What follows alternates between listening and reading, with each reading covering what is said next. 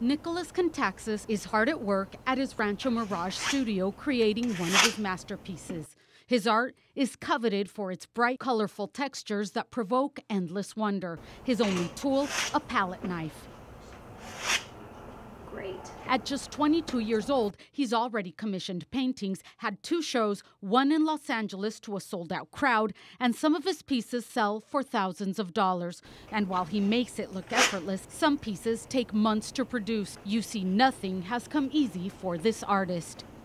He's had over 40,000 seizures. He's had brain surgery, but he's on the spectrum for autism also. At 14, he took up painting in school, a gift his mother, Chris Ann, says is from above. She says some days are so rough he can only do a few strokes. Beautiful. She says anyone else would have quit long ago, but his can do spirit keeps him creating.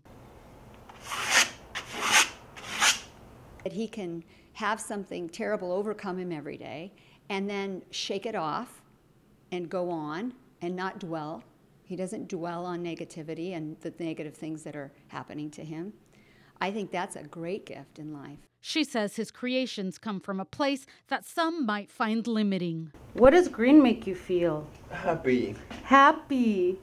His disability really allows him to experiment all the time. She credits the teachers and aides that have spent countless hours nurturing his gift. He couldn't have done it without you.